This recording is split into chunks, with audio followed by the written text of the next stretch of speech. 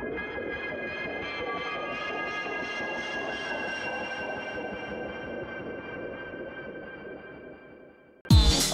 right back.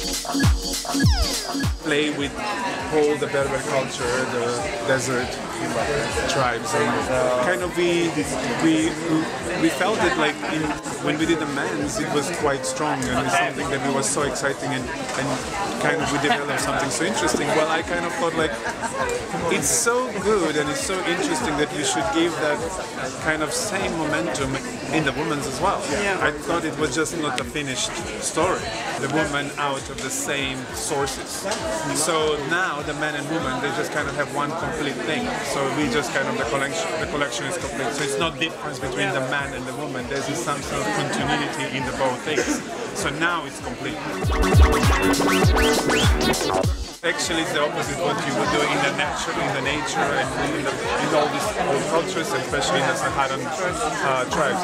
So it was a comfort. It was just something that we all do love layering, except when it's super hot. We're not just perfume and tattoo.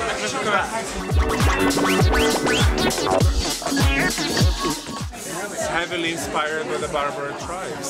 So it's all there, but we just give that modern twist to it and just give a new thing, a new momentum to what it